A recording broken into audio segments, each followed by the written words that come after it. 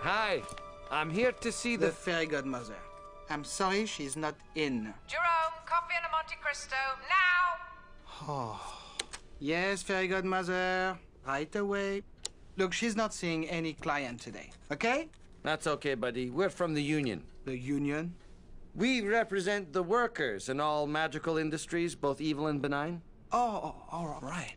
Are you feeling at all degraded or oppressed? Uh, a little. Well, we we don't even have dental. They don't even have dental.